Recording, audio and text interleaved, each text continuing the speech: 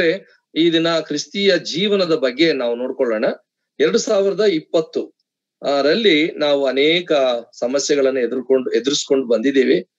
ದೇವರ ಮಹಾಕೃಪೆಯಿಂದ ಎರಡು ಸಾವಿರದ ಇಪ್ಪತ್ತ ಒಂದು ಜನವರಿ ತಿಂಗಳು ನಾವು ಈ ದಿನ ಇಪ್ಪತ್ತೆರಡನೇ ತಾರೀಕು ಇಲ್ಲಿವರೆಗೂ ಕೂಡ ದೇವ್ರು ನಮ್ಮನ್ನ ನಡ್ಸ್ಕೊಂಡು ಬಂದಿದ್ದಾರೆ. ಸೊ ನಾವು ಅನೇ ಸಾಮಾನ್ಯವಾಗಿ ಆ ಹೊಸ ವರ್ಷ ಬಂತು ಅಂತಂದ್ರೆ ಕೆಲವು ಹೊಸ ಹೊಸ ತೀರ್ಮಾನಗಳನ್ನು ಕೂಡ ನಾವು ಮಾಡುವಂತದ್ದು ಸಹಜನೇ. ನಾನು ದೇವರೇ, ಕಳೆದ ವರ್ಷ ನಾನು ಇಂತಿಂತದ್ದನ್ನ ನಾನು ಮಾಡಿದ್ದೀನಿ, ಇಂಥದ್ದು ಮಾಡ್ಲಿಲ್ಲ. ಆ ಬ್ಯಾಲೆನ್ಸ್ ಇರುವಂತಹ ಕಾರ್ಯಗಳನ್ನ ನಾನು ಈ ವರ್ಷ ನಾನು ಮುಂದುವರಿಸಬೇಕು ಅಂತ ಅಂದ್ಬಿಟ್ಟು ನಾವು ಸಹಜವಾಗಿ ತೀರ್ಮಾನಗಳನ್ನು ಮಾಡ್ತೇವೆ. ಅದನ್ನ ರೆಸೊಲ್ಯೂಷನ್ ಅಂತಾನು ಕೂಡ ಕರೀತಾರೆ. So two thousand twenty one ನನ್ನ ರೆಸೊಲ್ಯೂಷನ್ ಏನು? ಅಂದ್ರೆ ನಮ್ಮ ಗುರಿ ಏನು? ನಾವ್ ಏನ್ ಗುರಿನ ತಲುಪಬೇಕು ಅನ್ನುವಂತ ಒಂದು ನಮ್ಮ ಗೋಲ್ ಅದನ್ನ ಇಟ್ಕೊಂಡು ನಾವು ಕೆಲಸ ಮಾಡ್ತೀವಿ. ಪ್ರತಿಯೊಂದು ವ್ಯಾಪಾರ ಆಗಿರ್ಬೋದು ಅಥವಾ ಕೆಲಸ ಕಾರ್ಯ ಆಗಿರ್ಬೋದು ಮನೆ ಕಟ್ಟೋದಾಗಿರ್ಬೋದು ಅಥವಾ ಇನ್ಯಾವುದೇ ಕೆಲಸ ಮಾಡೋದಾಗಿರ್ಬೋದು. ಬಹಳ ಮುಖ್ಯವಾಗಿ ಆತ್ಮಿಕ ವಿಷಯದಲ್ಲಿ ಒಂದು ಗುರಿ ಇರ್ಬೇಕು. ನನ್ನ ಆತ್ಮಿಕ ವಿಷಯದಲ್ಲಿ ನನ್ನ ನನ್ನ ಏನದು ಆ ಈ ವಿಸ್ತಾರ ಆಗ್ಬೇಕು. ಯಾಬೇಜನು ಪ್ರಾರ್ಥನೆ ಮಾಡ್ತಾನೆ ಒಂದು ಪೂರ್ವಕಾಲ ವೃತ್ತಾಂತಗಳು ಆ, ನಾಲ್ಕನೇ ಅಧ್ಯಾಯ ಹತ್ತನೇ ವಚನದಲ್ಲಿ ಆತನು ದೇವ್ರ ಹತ್ರ ಯಹೋವ ದೇವ್ರ ಹತ್ರ ಹೀಗೆ ಪ್ರಾರ್ಥನೆ, ಓ ದೇವರೇ, ನೀನು ನನ್ನ ಪ್ರಾಂತ್ಯವನ್ನು ವಿಸ್ತಾರ ಮಾಡುವಂತ ಪ್ರಾರ್ಥನೆ ಮಾಡ್ತಾನೆ. So O Lord, extend my territory. So ನನ್ನ ಪ್ರಾಂತ್ಯವನ್ನು ಮಾಡು. ಅದರ ಅರ್ಥ ಏನು ಅಂತ ಅಂದ್ರೆ, ನಾನು ಈಗ ಇರುವಂತ ಪ್ರಾಂತ್ಯ, ಈಗಿರುವಂತ ಜೀವನ, ಇದು ನನಗೆ ಇನ್ನು ಬೆಳವಣಿಗೆ ಆಗ್ಬೇಕು. ಅಂದ್ರೆ ಟೂ ತೌಸಂಡ್ ಟ್ವೆಂಟಿ ಒನ್ ನಾವು ಕಳೆದ ವರ್ಷ ಏನು, ಆ, ನಾವು ಹೊಂದ್ಕೊಂಡಿದ್ದೀವಿ ಕರ್ತನ ಕೃಪೆಯಿಂದ. ಅದನ್ನ ನಾವ್ ಇನ್ನೂ ಕೂಡ ಅಭಿವೃದ್ಧಿಗೊಳಿಸ್ಕೊಳ್ಬೇಕು ಸೊ ಕೆಟ್ಟದ್ರ ಬಗ್ಗೆ ಕಡಿಮೆ ಆಗ್ಬೇಕು. ಆ, ಕರ್ತನಾದ ಯೇಸು ಕ್ರಿಸ್ತನು ಮೆಚ್ಚುವ ಜೀವನಕ್ಕೆ ನಾವ್ ಇನ್ನೂ ಅಭಿವೃದ್ಧಿ ಪಡಿಸ್ಕೊಳ್ಬೇಕು ಅನ್ನುವಂಥದ್ದು ನಮ್ಮಲ್ಲಿ ಸಹಜವಾಗಿ ನಾವು ಆ ರೀತಿ ಮಾಡ್ತಾ ಇರ್ತೀವಿ. ಕೆಲವು ಸಲ ಫೇಲ್ಯೂರ್ಸ್ ಆಗಿರುತ್ತೆ. ನಾವು ಅಂದ್ಕೊಳ್ತೀವಿ, ಅಂದ್ಕೊಂಡಿದ್ದು ಸಾಧನೆ ಮಾಡಕ್ಕಾಗಲ್ಲ. ಸೊ ದೇವರು ನಾವು ಧೂಳಿಯಾಗಿದ್ದೇವೆ ಎಂಬುದನ್ನು ನೆನಪು ಮಾಡ್ಕೊಳ್ತಾನೆ. ಹಂಗಂತ ಹೇಳಿ ನಾವು ಹೇಗೆ ಇರಂಗಿಲ್ಲ. ನಾವು ಮುಂದೆ ಮುಂದೆ ಹೋಗೋದಿಕ್ಕೆ ನಾವು ಪ್ರಯತ್ನ ಪಡ್ಬೇಕು. ನಮ್ಮ ಕ್ರಿಸ್ತಿಯ ಜೀವನದ ಓಟದಲ್ಲಿ, ಯಾಕೆಂದ್ರೆ ದೇವರು ನಮ್ಮನ್ನು ವಿಶೇಷವಾದಂತ ವ್ಯಕ್ತಿಗಳನ್ನಾಗಿ ಆತನ ಆರಿಸಿಕೊಂಡಿದ್ದಾನೆ. ಆ, ತನ್ನ ರೆಕ್ರೂಟ್ಮೆಂಟ್ ನಮಗೆ ದಯಪಾಲಿಸಿದ್ದಾನೆ ನಾವು ಆತನ ಸೈನಿಕರಾಗಿದ್ದೇವೆ. ಆತನ ಮು, ಆತನೊಂದಿಗೆ ನಾವು ಕ್ರಿಸ್ತಿಯ ಓಟವನ್ನು ಓಡಬೇಕಾಗಿದೆ. ಅದರಿಂದ ಇವತ್ತು ನಮ್ಮ ಧ್ಯಾನಕ್ಕೋಸ್ಕರವಾಗಿ ನಾನು ಆರಿಸಿಕೊಂಡಿರುವಂತ ವಾಕ್ಯ ಭಾಗ ಆ, ಎರಡು ಕುರಿತ ಐದನೇ ಅಧ್ಯಾಯ ಆರರಿಂದ ಒಂಬತ್ತು ವಚನಗಳನ್ನ ನಮ್ಮ ಪ್ರಿಯ ಸಹೋದರು ಮಾರ್ಕೋನಿ ಅವರು ಓದ್ತಾರೆ. ಸೊ ಎರಡು ಕೊರಿಂತ ಐದನೇ ಅಧ್ಯಾಯ ಆರನೇ ವಚನದಿಂದ ಒಂಬತ್ತನೇ ವಚನದ ತನಕ ನಾವು ಓದ್ಕೊಳ್ಳೋಣ. ಬ್ರದರ್ ಮಾರ್ಕೋನಿ ಓದ್ತೀರಾ? ಐದನೇ ಅಧ್ಯಾಯ ಆರರಿಂದ ಆರರಿಂದ ಒಂಬತ್ತು. ಒಂಬತ್ತು ಓಕೆ ಬ್ರದರ್ ಹೀಗಿರುವುದರಿಂದ ನಾವು ಯಾವಾಗಲೂ ಧೈರ್ಯವುಳ್ಳವರಾಗಿದ್ದೇವೆ. ನಾವು ನೋಡುವವರಾಗಿ ನಡೆಯದೆ ನಂಬುವವರಾಗಿಯೇ ನಡೆಯುತ್ತೇವಾದ್ದರಿಂದ ದೇಹದಲ್ಲಿ ವಾಸಿಸುವವರಿಗೂ ಕರ್ತನಿಗೆ ದೂರದಲ್ಲಿರುವ ಪ್ರವಾಸಿಗಳಾಗಿದ್ದೇವೆಂಬುದನ್ನು ಬಲ್ಲೆವು. ಇದನ್ನು ಆಲೋಚಿಸಿ ಧೈರ್ಯವುಳ್ಳವರಾಗಿದ್ದು ದೇಹವನ್ನು ಬಿಟ್ಟು ಕರ್ತನ ಬಳಿಯಲ್ಲಿರುವುದೇ ಉತ್ತಮವೆಂದು ಎಣಿಸುತ್ತೇವೆ. ಆದುದರಿಂದ ನಾವು ದೇಹವೆಂಬ ಮನೆಯಲ್ಲಿದ್ದರೂ ಸರಿಯೇ, ಅದನ್ನು ಬಿಟ್ಟಿದ್ದರೂ ಸರಿಯೇ, ಕರ್ತನಿಗೆ ಮೆಚ್ಚುಗೆಯಾಗಿರಬೇಕೆಂಬುದೇ ನಮ್ಮ ಗುರಿಯಾಗಿದೆ. ಕರ್ತನಿ ವಾಕ್ಯಗಳನ್ನ ಆಶೀರ್ವಿಸಲಿ thank you very much brother so ನಮ್ಮ ಗುರಿ ಏನು ಇವತ್ತು? ಕ್ರಿಸ್ತನನ್ನು ಮೆಚ್ಚಿಸುವಂತ ಗುರಿ. ಗಾಡ್ ಪ್ಲೀಸಿಂಗ್ ಲೈಫ್ ಇಷ್ಟೇ, ಇವತ್ತಿನ ನಮ್ಮ ಸಬ್ಜೆಕ್ಟ್ ದೇವರು, ದೇವರನ್ನು ಮೆಚ್ಚಿಸುವ ಜೀವನ ನಾವು ಎರಡು ಸಾವಿರದ ಇಪ್ಪತ್ತರಲ್ಲಿ ಕೈಗೊಳ್ಳಬೇಕಾಗಿರುವಂತ ಮುಖ್ಯ ಉದ್ದೇಶ ಆಗಿರಬೇಕು. ಇದೇ ನಮ್ಮ ದೇ ಉದ್ದೇಶ. ಹಾಗಾದ್ರೆ, ಇಲ್ಲಿ ನಾವು ಆ ನಾಲ್ಕನೇ ಅಧ್ಯಾಯ, ಅದೇ ಎರಡು ಕುರಿತ ನಾಲ್ಕನೇ ಅಧ್ಯಾಯ, ಹದಿನಾರನೇ ವಚನದಿಂದ ಹಿಡಿದು ಐದನೇ ಅಧ್ಯಾಯ, ಹತ್ತನೇ ವಚನದ ತನಕ ಒಂದು ವಿಶೇಷವಾದಂತ ಆಲೋಚನೆಗಳಿದಾವೆ. ಬಹಳ ವಿಶೇಷವಾಗಿರುವಂತ ಆಲೋಚನೆ. ಅದನ್ನೆಲ್ಲ ನಾವು ಈಗ ಸ್ಟಡಿ ಮಾಡೋದಿಕ್ಕೆ ಸಾಧ್ಯ ಇಲ್ಲ. ಅದಕ್ಕೆ ಸಾಕಷ್ಟು ಟೈಮ್ ತಗೊಳುತ್ತೆ. ಆದ್ರೆ ಒಂದು ಆ ಶಿರೋನಾಮೆ ಅಲ್ಲಿ ಕೊಟ್ಟಿದ್ದಾರೆ ಕನ್ನಡ ಬೈಬಲ್ನಲ್ಲಿ ಏನಂತ ಇದೆ ಪರಲೋಕ ಭಾಗ್ಯವನ್ನು ಆಲೋಚಿಸುವಾಗ ಕ್ರಿಸ್ತನಲ್ಲಿ ಇರುವವರಿಗೆ ಧೈರ್ಯ ಉಂಟಾಗುತ್ತೆ ಎಂಬುದು ಅಷ್ಟೇ. ಕ್ರಿಸ್ತ ಏನದು ಪರಲೋಕ ಭಾಗ್ಯವನ್ನು ನೆನೆಸು. ಪರಲೋಕದ ಆಲೋಚನೆ ಮಾಡು. ಆಗ ನೀನು ಕ್ರಿಸ್ತನಲ್ಲಿ ಇರುವುದಾಗಿದ್ದರೆ ನಿನಗೆ ಧೈರ್ಯ ಬರುತ್ತೆ ಅಂತ ಹೇಳಿ. ಅದನ್ನ ಹೇಳ್ತಾ ಹೇಳ್ತಾ ನಮಗೆ ದೇಹ, ಈ ಲೋಕದಲ್ಲಿರುವಂತ ದೇಹ ಮತ್ತು ಮುಂದೆ ದೇವರಿಟ್ಟಿರುವಂತ ಆ ದೇಹ, ಆ ಮನೆ. ಅಂದ್ರೆ ಈ ಮನೆ ಇಲ್ಲಿ, ಆ ಮನೆ ಇನ್ನೊಂದಲ್ಲಿ. ಅಲ್ಲಿ ದೇವ್ರು ನಮಗೋಸ್ಕರವಾಗಿ ಮತ್ತೊಂದು ವಿಶೇಷವಾದಂತ ದೇಹ ಇಟ್ಟಿದ್ದಾನೆ ಅಂತ ಅಂದ್ಬಿಟ್ಟು ನಮ್ಗೆ ಇಲ್ಲಿ ಗೊತ್ತಾಗುತ್ತೆ. ಈ ದೇಹ ಎಲ್ಲಿವರೆಗೂ ಇರ್ತದೆ? ಒಂದು ವೇಳೆ ಅದ್ರ ಬಗ್ಗೆ ಸವಿಸ್ತಾರವಾಗಿ ಧ್ಯಾನ ಮಾಡಬಹುದು ಬಟ್ ಇವಾಗ ಸಮಯ ಇಲ್ಲ. ಈ ದೇಹ ಎಲ್ಲಿವರೆಗೂ ಎಲ್ಲಿವರೆಗೂ ಇರುತ್ತೆ ಅಂದ್ರೆ ಆತನು ಹೊಸ ಆಕಾಶ, ಹೊಸ ಭೂಮಿಯನ್ನು ಸೃಷ್ಟಿ ಮಾಡಿ ಅಲ್ಲಿಗೆ ತಕೊಂಡೋಗೋ ತನಕ ನಾವು ಹೀಗೆ ಇರ್ತೀವಿ. ಯಥಾಸ್ಥಿತಿಯಲ್ಲಿ ಕಾಣಿಸಿಕೊಳ್ಳಬೇಕು ಅಂತ ಇದೇ ಅಧ್ಯಾಯದ ಹತ್ತನೇ ವಚನದಲ್ಲಿ ಬರೆಯಲ್ಪಟ್ಟಿದೆ. ನಾವು ಕರ್ತನಾದ ಯೇಸು ಕ್ರಿಸ್ತನ ನ್ಯಾಯಾಸನದ ಮುಂದೆ ನಾವೀಗ ಏನ್ ದೇಹ ಹೊತ್ಕೊಂಡಿದೀವಿ ತೀರ್ಪಿನ ದಿನ. ಆ ತೀರ್ಪಿನ ದಿನದವರೆಗೂ ಕೂಡ ನಾವು ಇದೇ ದೇಹದಲ್ಲಿ ಇದ್ದು, ಆ ತೀರ್ಪುಗಳಾದ ನಂತರ ಹೊಸ ಭೂಮಿ, ಹೊಸ ಆಕಾಶ ಆದ ಮೇಲೆ ಆತನು ಮುಂದೆ ನಮ್ಮನ್ನ ಬೇರೆ ಯಾವ ದೇಹದಿಂದ ನಮ್ಮನ್ನ ರೂಪಾಂತರ ಪಡಿಸ್ತಾನೋ ಅದು ನಮಗೆ ರಹಸ್ಯ. ಅದಕ್ಕೋಸ್ಕರ ಒಂದು ಯೋಹಾನ ಮೂರನೇ ಅಧ್ಯಾಯ ಒಂದು ಎರಡು ವಚನಗಳಲ್ಲಿ ಕೂಡ ನಾವು ನೋಡ್ತೇವೆ. ನಾವೇನು ಅಂದ್ರೆ ಈಗ ನಾವು ಸದ್ಯಕ್ಕೆ ನಂಬಿಕೆಯಲ್ಲಿ ನಾವು ಈ ದೇಹದಲ್ಲಿದ್ದೇವೆ. ಮುಂದೆ ನಾವು ಯೇಸು ಕ್ರಿಸ್ತನ ಹಾಗೆ ಆಗ್ತೇವೆ. ಮುಂದೆ ಏನಾಗ್ತೀವಿ ಅದು ನಮಗ್ ಗೊತ್ತಿಲ್ಲ. ಹಾಗಾದ್ರೆ ಇದು ರಹಸ್ಯ. ಈ ರಹಸ್ಯವನ್ನು ಭೇದಿಸುವಂತ ಅವಶ್ಯಕತೆ ನಮಗೆ ಇಲ್ಲ. ಬಟ್ ಏನು ಅಂತಂದ್ರೆ ಈಗ ನಮಗಿರುವಂತ ವಿಷಯಗಳನ್ನ ಮಾತ್ರ ನಾವು ನೋಡ್ಕೊಂಡು ಹೋಗೋಣ. ಓಕೆ, ಈ ಭೂಮಿಯ ಐದನೇ ಅಧ್ಯಾಯದ ಒಂದನೇ ವಚನದಲ್ಲಿ, ಭೂಮಿಯ ಮೇಲಿರುವ ನಮ್ಮ ಮನೆ, ಮನೆಯು ಅಂದರೆ ನಮ್ಮ ದೇಹವೆಂಬ ಗುಡಾರವು ಕಿತ್ತು ಹಾಕಲ್ಪಟ್ಟರೂ ದೇವರಿಂದ ಉಂಟಾದುವ ಒಂದು ಕಟ್ಟಡ ಪರಲೋಕದಲ್ಲಿ ನಮಗೆ ಉಂಟೆಂದು ಬಲ್ಲೆವು. ಇದು ಏನದು ಅದು ಕೈಯಿಂದ ಕಟ್ಟಿದ ಮನೆಯಾಗಿರದೆ ನಿತ್ಯವಾಗಿರುವಂತದ್ದು ಆಗಿದೆ. ನಾವು ಈಗಿನ ದೇಹದಲ್ಲಿರುವವರೆಗೂ ನರಳುತ್ತೇವೆ. ಪರಲೋಕದಿಂದ ದೊರಕುವ ನಮ್ಮ ನಿವಾಸವನ್ನು ನಾವು ದೇಹದ ಮೇಲೆ ಧರಿಸಿಕೊಳ್ಳಬೇಕೆಂದು ಅಪೇಕ್ಷಿಸುತ್ತೇವೆ. ಹಾಗಾದ್ರೆ ಆ ದಿನ ಬರುತ್ತೆ. ಆ ದಿನಕ್ಕೋಸ್ಕರವಾಗಿ ವೆಯ್ಟ್ ಮಾಡೋಣ. ಓಕೆ ಕರ್ತನಾದ ಯೇಸು ಕ್ರಿಸ್ತನ ಎರಡನೇ ಬರೋಣದಲ್ಲಿ ಆತನು ನಮ್ಮನ್ನು ವಿಶೇಷವಾದ ರೀತಿಯಲ್ಲಿ ಮಾರ್ಪಾಟು ಮಾಡುತ್ತಾನೆ. ಈಗ ಅದ್ರದ್ದು ಸಬ್ಜೆಕ್ಟ್ ನಮ್ದಲ್ಲ. ಸೊ ಒಂಬತ್ತನೇ ವಚನ ಮಾತ್ರ ನಮ್ಮ ಇವತ್ತಿನ ಸಬ್ಜೆಕ್ಟ್ಗೆ ಸಂಬಂಧಪಟ್ಟಿರುವಂತ ಆಲೋಚನೆ ಆಗಿರುತ್ತೆ. ನಾನು ಒಂಬತ್ತನೇ ವಚನ ಮತ್ತೆ ನಿಮ್ಗೆ ನಾವು ರಿಪೀಟ್ ಮಾಡ್ತೇನೆ. ಆದುದರಿಂದ ನಾವು ದೇಹವೆಂಬ ಮನೆಯಲ್ಲಿ ಇದ್ದರೂ ಸರಿಯೇ, ಅದನ್ನು ಬಿಟ್ಟಿದ್ದರೂ ಸರಿಯೇ, ಕರ್ತನಿಗೆ ಮೆಚ್ಚುವವರಾಗಬೇಕೆಂಬುದೇ ನಮ್ಮ ಗುರಿ ಆಗಿದೆ. ಇದು ನಮ್ಮ ಗೋಲ್ ಇದು ನಮ್ಮ ಏಮ್ ಇದು ನಮ್ಮ ಟಾರ್ಗೆಟ್ ಈ ಟಾರ್ಗೆಟ್ನಲ್ಲಿ ಕೆಲಸ ಮಾಡ್ಬೇಕಾಗಿದೆ.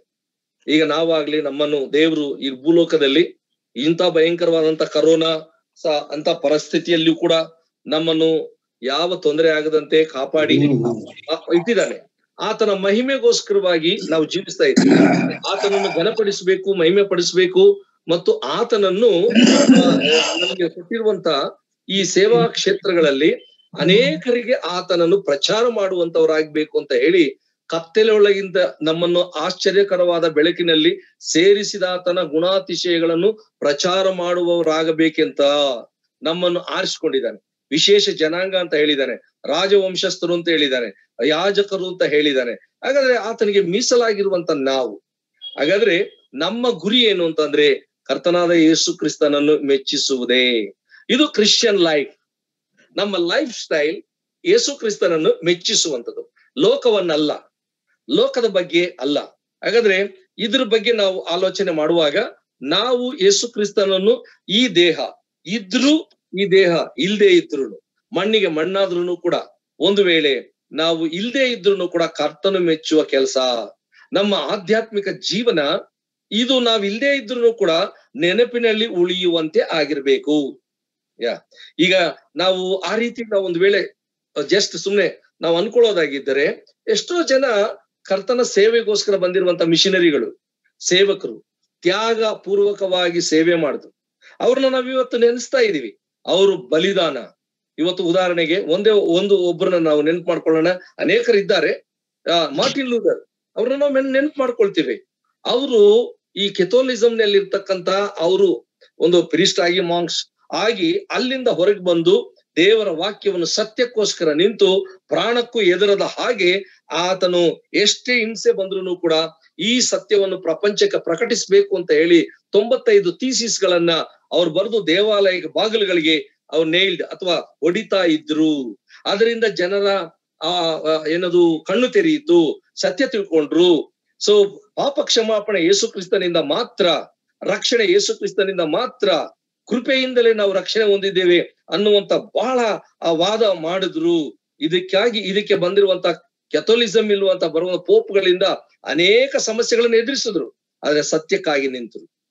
ನಮ್ಮ ಭಾರತ ದೇಶದಲ್ಲಿ ಕೂಡ ವಿಲಿಯಂ ಕೇರಿ ಕಪ್ಪು ಅವರ ಆ ಆಫ್ರಿಕಾದಲ್ಲಿ ಒಂದು ವೇಳೆ ಆ, ನಮ್ಮ ಡೇವಿಡ್ ಲಿವಿಂಗ್ಸ್ಟನ್ ಚೈನಾದಲ್ಲಿ ಅಡ್ಸನ್ ಟೇಲರ್, ಹೀಗೆ ದೇಶ ದೇಶದಲ್ಲಿ ಬರ್ಮಾದಲ್ಲಿ ಅಧೋನಿ ರಾಮ್ ಜಿಡ್ಸನ್ ಈ ರೀತಿಯಾಗಿ ಸತ್ಯಕ್ಕಾಗಿ ನಿಂತಿರಲ್ಲ, ಆ ಸತ್ಯಕ್ಕೋಸ್ಕರ ಹೋರಾಟ ಮಾಡಿದ್ರಲ್ಲ, ಅವರ ಹೆಸರು ಈಗಲೂ ಕೂಡ ಶಾಶ್ವತವಾಗಿದೆಯಲ್ಲ, ಹಾಗಾದ್ರೆ ದೇಹದಲ್ಲಿ ಇದ್ರು ಇಲ್ಲದೆ ಇದ್ರು, ನಿನ್ನ ನನ್ನ ಜೀವನ ಸಾರ್ಥಕ ಆಗ್ಬೇಕು ಅಂತ ಅಂದ್ರೆ ಸತ್ಯಕ್ಕೆ ನಿಲ್ಲೋಣ, ಸತ್ಯಕ್ಕೋಸ್ಕರವಾಗಿ ನಾವು ಕರ್ತನಿಗೋಸ್ಕರ ಕೆಲಸ ಮಾಡೋಣ. ಹಾಗಾದ್ರೆ ಇಲ್ಲಿ ಪೌಲನ್ ಏನ್ ಹೇಳ್ತಾ ಇದ್ದಾನೆ ಅಂತ ಅಂದ್ರೆ, ಈ ದೇಹದಲ್ಲಿ ಎಂಬ ಮನೆಯಲ್ಲಿ ಇದ್ದರೂ ಸರಿಯೇನೆ, ಇದನ್ನ ಬಿಟ್ಟರು ಸರಿನೇ ನಮ್ಮ ಗುರಿ ಏನು ಅಂದ್ರೆ ಕರ್ತನನ್ನು ಮೆಚ್ಚಿಸುವವರಾಗಿರಬೇಕೆಂಬುದೇ ನಮ್ಮ ಗುರಿ. ಈಗ ಅದ್ರ ಪ್ರಕಾರವಾಗಿ ನಂಬರ್ ಒನ್ ನಾನು ಕೆಲವು ವಿಷಯಗಳನ್ನ ಎಲ್ಲಿ ನಮ್ಮ ಎಂಟು ಮುಕ್ಕಾಲ್ ಎಲ್ಲಿವರೆಗೆ ಆಗ್ತದೋ ಅಲ್ಲಿವರೆಗೆ ಕೆಲವು ವಿಷಯಗಳನ್ನ ನಿಮ್ಮೊಂದಿಗೆ ನಾನು ಹೇಳ್ತೇನೆ. ಈಗ ನಮ್ಗಿರುವಂತ ಇರುವಂತಹ ಅರ್ಧ ಗಂಟೆ ಟೈಮ್ನಲ್ಲಿ ನಂಬರ್ ಒನ್ ಒಂದು ಇಬ್ರಿಯರ ಪತ್ರಿಕೆ ಆರ್, ಹನ್ನೊಂದನೇ ಅಧ್ಯಾಯ ಆರನೇ ವಚನ. ಹನ್ನೊಂದನೇ ಅಧ್ಯಾಯ ಆರನೇ ವಚನ ನಾವು ಧ್ಯಾನ ಮಾಡೋದಾಗಿದ್ರೆ ಈ ಒಂದು ಮೆಚ್ಚುಗೆ ಅಂದ್ರೆ ದೇವರನ್ನು ಮೆಚ್ಚಿಸುವಂತದ್ದು ಹೇಗೆ? ದೇವರನ್ನು ಹೌ ಟು ಪ್ಲೀಸ್ ಗಾಡ್ ದೇವರನ್ನು ಮೆಚ್ಚಿಸುವಂತದ್ದು ಹೇಗೆ? ಅಂತ ಒಂದು ಪ್ರಶ್ನೆ ಹಾಕೊಂಡ್ರೆ ಈಗ ಇಲ್ಲಿ ನಂಬರ್ ಒನ್ ನೋಡೋಣ. ಏನು ಇಬ್ರಿಯರ ಪತ್ರಿಕೆ ಹನ್ನೊಂದನೇ ಅಧ್ಯಾಯ ಆರನೇ ವಚನ. ನಂಬಿಕೆ ಇಲ್ಲದೆ ದೇವರನ್ನು ಮೆಚ್ಚಿಸುವುದು ಅಸಾಧ್ಯ. ನಂಬಿಕೆ ಇಲ್ಲದೆ ದೇವರನ್ನು ಮೆಚ್ಚಿಸುವುದು ಅಸಾಧ್ಯ. ದೇವರ ಬಳಿಗೆ ಬರುವವನು ದೇವರಿದ್ದಾನೆ. ಅಂದ್ರೆ ಅರ್ಥ ಏನು? ದೇವ್ರು ನೋಡ್ತಾ ಇದ್ದಾನೆ, ದೇವ್ರು ಕೇಳಿಸ್ಕೊಳ್ತಾ ಇದ್ದಾನೆ ಅನ್ನೋ ಅರ್ಥ. ದೇವರಿದ್ದಾನೆ ಮತ್ತು ತನ್ನನ್ನು ಹುಡುಕುವವರಿಗೆ ಪ್ರತಿಫಲವನ್ನು ಕೊಡುತ್ತಾನೆ ಎಂಬುದು ಅವಶ್ಯ. ನೋಡಿ, ಇದು ಕ್ರಿಸ್ತಿಯ ಜೀವನದಲ್ಲಿ ಬಹಳ ಪ್ರಾಮುಖ್ಯವಾಗಿರ್ತಕ್ಕಂತ ಅಂಶ ಇದು.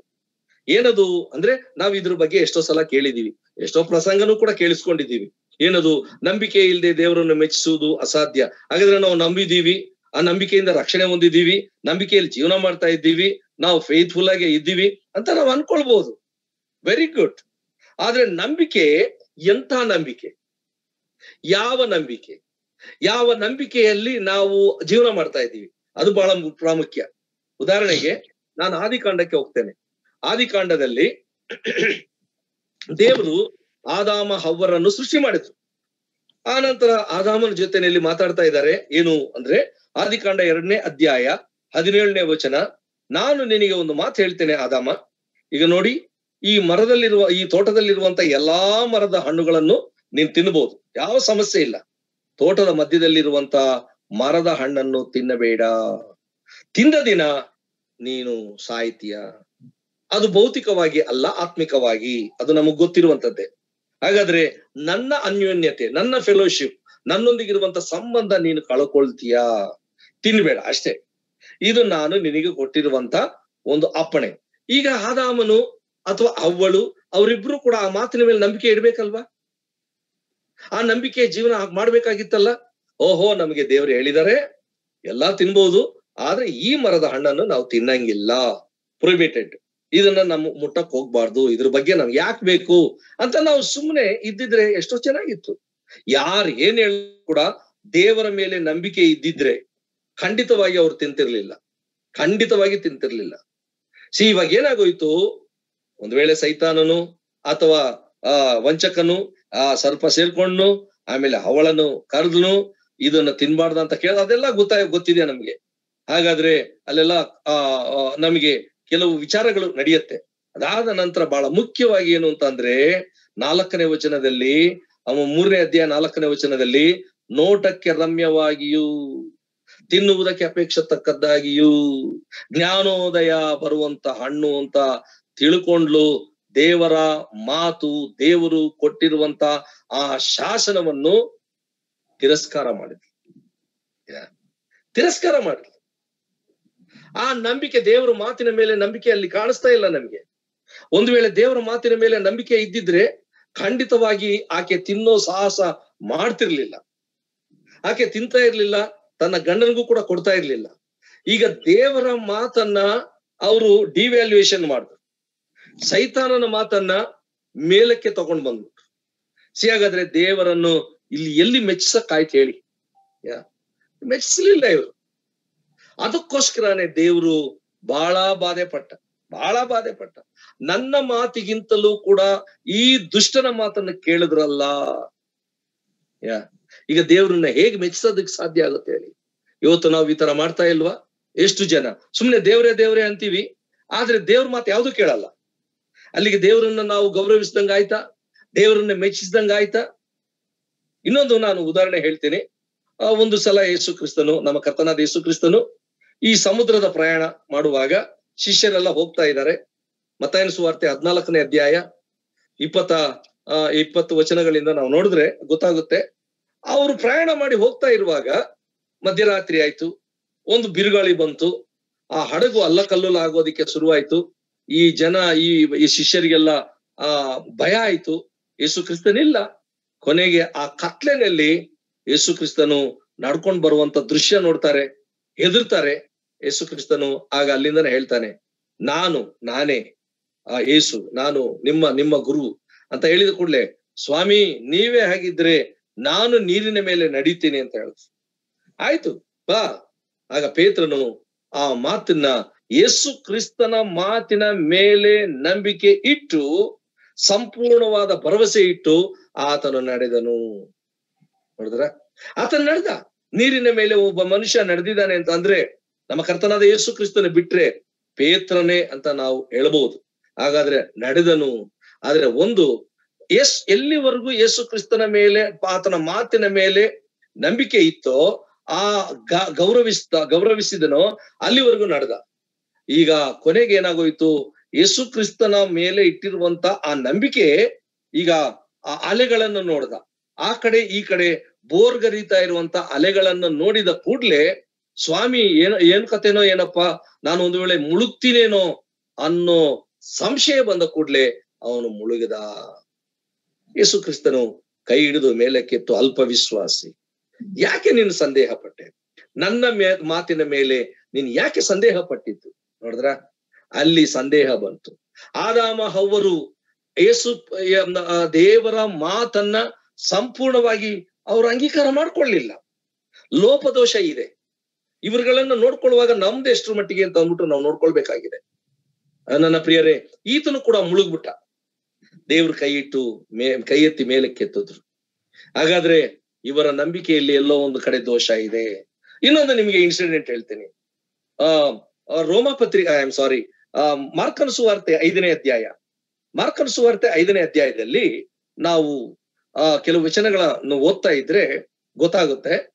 ಒಬ್ಬ ಹನ್ನೆರಡು ವರ್ಷದಿಂದ ರೋಗಿಷ್ಠಿಯಾಗಿರುವಂತಹ ರಕ್ತ ಕುಸುಮ ರೋಗಿ, ಆ ಹೆಣ್ಣುಮಗಳು ತನ್ನ ಕಾಯಿಲೆಯಲ್ಲಿ ವಾಸಿ ಆಗ್ಲಿಲ್ಲ ಕೊನೆಗೆ ಯೇಸುವಿನ ಬಟ್ಟೆ ಮುಟ್ಟಿದರೆ ನನಗೆ ವಾಸಿಯಾಗುತ್ತೆ ಅಂತ ಆ ಸಂಪೂರ್ಣವಾದ hundred out of hundred percent ಆಕೆ ನಂಬಿಕೆಯಿಂದ ಬಂದ್ಲು. ಕೊನೆಗೆ ಅಲ್ಲೆಲ್ಲ ಜನ ಇದ್ದಾರೆ.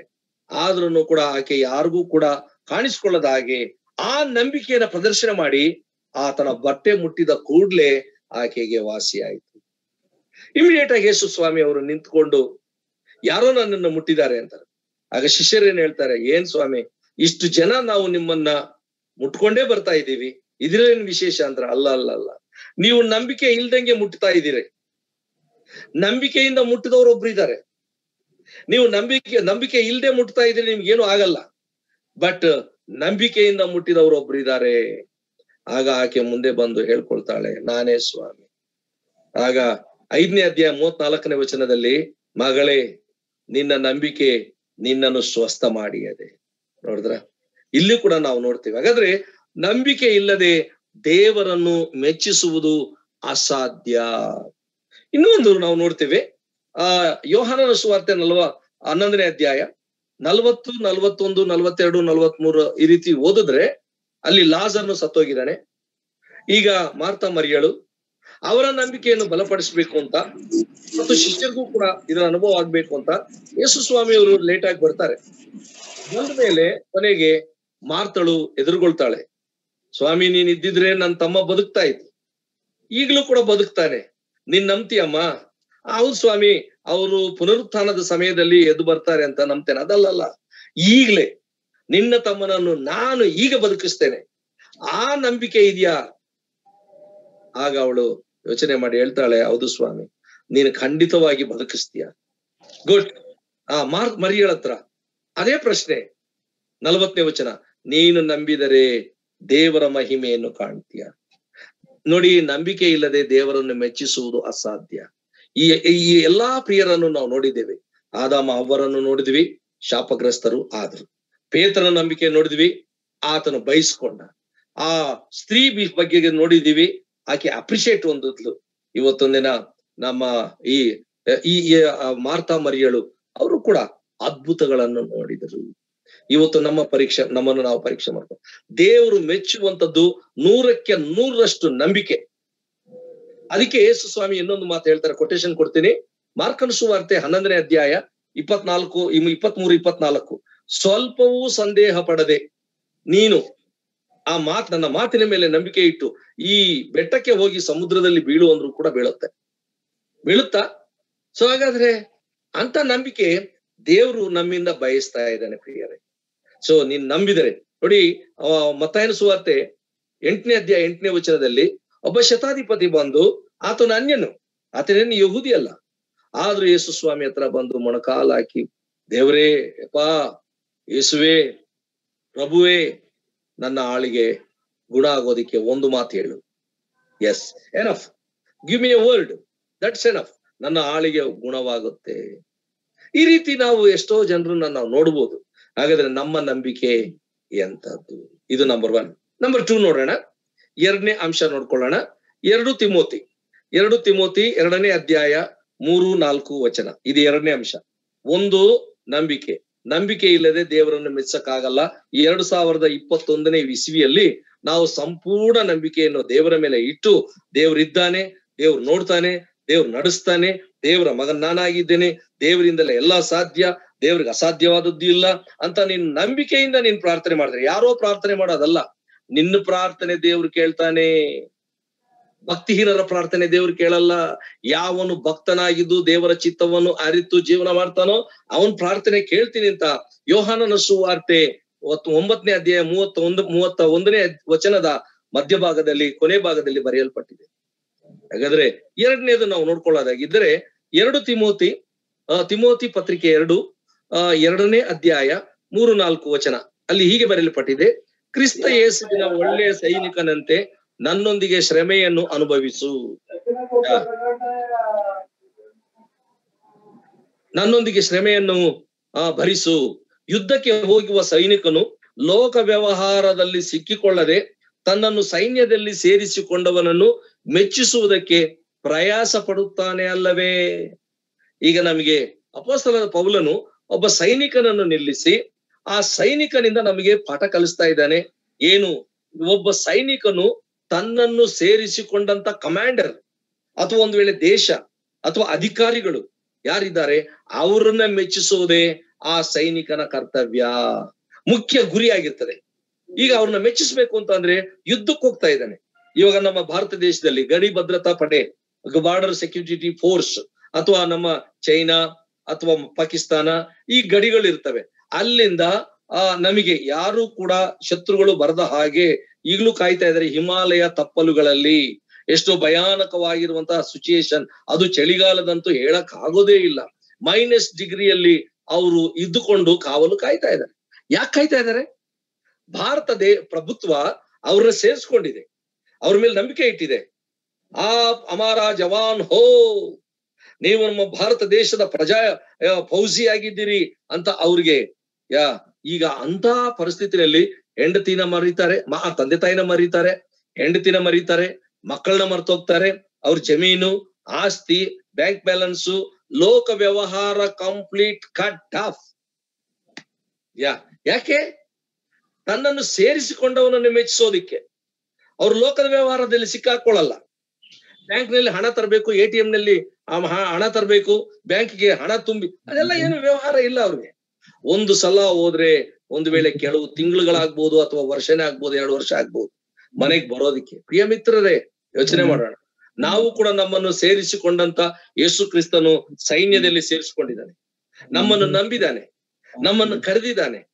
ನಮ್ಮನ್ನು ತನ್ನ ರೆಕ್ರೂಟ್ಮೆಂಟ್ ತನ್ನ ವಿಶೇಷವಾದ ಕೆಲಸ ಕೊಟ್ಟಿದ್ದಾನೆ. ನಾನು ಅವಾಗಲೇ ಹೇಳಿದ್ನಲ್ಲ ಒಂದು ಒಂದು ಪೇತ್ರ ಎರಡನೇ ಅಧ್ಯಾಯ ಒಂಬತ್ತನೇ ವಚನ ಆತನು ತನ್ನನ್ನು ಸೇರಿಸಿಕೊಂಡ ಆತನ ಗುಣಾತಿಶಯಗಳನ್ನು ಪ್ರಚಾರ ಮಾಡುವವರಾಗಬೇಕೆಂತ ನಮ್ಮನ್ನು ವಿಶೇಷವಾದ ಜನ, ರಾಯಲ್ ಪ್ರೀಸ್ಟ್ಹುಡ್ ಅಥವಾ ರಾಜವಂಶಸ್ಥರು, ಯಾಜಕ ಕುಲದವರು ಮತ್ತು ಕರೆಯಲ್ಪಟ್ಟವರು, ವಿಶೇಷವಾದ ಜನ, ಆತನಿಗೋಸ್ಕರ ಇರುವಂತವ್ರು. ಇವತ್ತು ನಮ್ಮಿಂದ ಏನ್ ಬಯಸ್ತಾ ಇದ್ದಾರೆ? ಆತನ ಮೆಚ್ಚಬೇಕು. ಎಸ್ ಅಷ್ಟೇ. ಮೆಚ್ಚುವಂತ ಜೀವನ ಮಾಡೋದೇ ಕ್ರಿಸ್ತೀಯ ಜೀವನ. ಲೋಕ ವ್ಯವಹಾರಗಳಲ್ಲಿ ಸಿಕ್ಕಾಕೊಳ್ಳಂಗಿಲ್ಲ ಇಲ್ಲಿ ಹೇಳ್ತಾ ಇದ್ದಾನೆ. ಆ ಸೈನಿಕನನ್ನು ಹೋಲಿಸಿ ಹೇಳ್ತಾ ಇದ್ದಾನೆ. ಸೈನಿಕನು ಲೋಕ ವ್ಯವಹಾರಗಳಲ್ಲಿ ಸಿಕ್ಕಾಕೊಳ್ಳಲ್ಲ ಲೋಕಕ್ಕೂ ಅವನಿಗೂ ಅವನು ಹೋಗಿ ಮಿಲಿಟರಿಯಲ್ಲಿ ಆತನ ಸೇರಿಸ್ಕೊಂಡಿರುವವನಿಗೆ, ಏ, ಗಡಿ ಭದ್ರತಾ ಪಡೆ ಪಡೆ ನೀನು, ಇಲ್ಲಿ ಕಾಯಿ ಅಂತಂದ್ರೆ ಹಾಗೆ ಇರ್ತಾನೆ. ಅವನು ಊಟ ಕೇಳಲ್ಲ, ನೀರು ಕೇಳಲ್ಲ, ಸುಖ ಕೇಳಲ್ಲ, ಮಲ್ಕೊಳ್ಳೋದಕ್ಕೆ ಬೇಕಾಗಿರುವಂತ ಹಾಸಿಗೆ ಕೇಳೋದಿಲ್ಲ, ಬೆಚ್ಚಗಿರೋದಿಕ್ಕೆ ಏನು ಕೇಳಲ್ಲ. ಅವನ ಮಾಸ್ಟರ್ ಸೇರಿಸ್ಕೊಂಡವನು ಅವನಿಗೋಸ್ಕರ ಆಲೋಚನೆ ಮಾಡಿ ಏನಾದ್ರೂ ಊಟ ಕೊಟ್ಟರೆ ತಿಂತಾನೆ, ಅಡಿಗೆ ಮಾಡ್ಕೊ, ಅದು ಅದು ಅಡಿಗೆ ಮಾಡ್ಕೊಂಡು ಮಾಡ್ಕೊಂತಾನೆ ಇಲ್ಲ ಶತ್ರುಗಳು ಬಂತು ಅಂದ್ರೆ ಅವನು ಎಲ್ಲಾ ಬಿಟ್ಬಿಟ್ಟು ವೀರಾವೇಶದಿಂದ ಶತ್ರು ಸೈನ್ಯನ ಧ್ವಂಸ ಮಾಡೋದಿಕ್ಕೆ ಇರ್ತಾನೆ. ಅಂತ ಟೈಮ್ನಲ್ಲಿ ಒಂದು ವೇಳೆ ಕೈ ಕಟ್ಟಾಗ್ಬೋದು, ಕಾಲ್ ಕಟ್ಟಾಗ್ಬೋದು, ಅಥವಾ ಒಂದು ಕಣ್ಣೆ ಹೊಟ್ಟೋಗ್ಬಿಡ್ಬೋದು ಏನ್ ಆದ್ರೂ ಕೂಡ ಅವನು ಯಾರ ಮೇಲೂ ಬ್ಲೇಮ್ ಮಾಡಲ್ಲ. ನಮ್ಮ ದೇಶದಿಂದ ಹಿಂಗಾಯ್ತು ಅಂತ ಹೇಳಲ್ಲ. ನನ್ನ ಸೇರಿಸ್ಕೊಂಡಿರೋನಿಂದ ನನಗೆ ಕೈ ಕಳ್ಕೊಂಡೆ, ಕಾಲು ಕಳ್ಕೊಂಡೆ ಅನ್ನೋದೇ ಇಲ್ಲ. ನಾನು ಎಷ್ಟೋ ಜನ ಈ ರೀತಿಯಾದಂತವ್ರನ್ನ ಆ, ಸೈನಿಕರನ್ನ ನಾನು ನೋಡಿದ್ದೀನಿ. ನಾನು ಕೂಡ Hyderabad fifteenth Maratha light infantry ಅದರಲ್ಲಿ ನಾನು ಕೂಡ ಸೈನ್ಯಕ್ಕೆ ಸೇರಿದ್ದೆ ಸೆವೆಂಟಿ ಸೆವೆನ್ ಸೊ ಆ ರೆಜಿಮೆಂಟ್ ನಲ್ಲಿದ್ದೆ ನನಗದು ಸ್ವಲ್ಪ ಅನುಭವ ಇದೆ. ಆದ್ರೆ ಅಲ್ಲಿ ಯಾರು ಯಾರನ್ನೂ ಕೂಡ ಕೇರ್ ಮಾಡಲ್ಲ. ಅವ್ನ್ ಪ್ರಾಣ ಹೋದ್ರೂ ಚಿಂತೆ ಇಲ್ಲ. ಪ್ರಾಣ ಹೋಗುವಾಗ್ಲೂ ಕೂಡ ಅವನ್ ಏನ್ ಹೇಳ್ತಾನೆ ಗೊತ್ತಾ?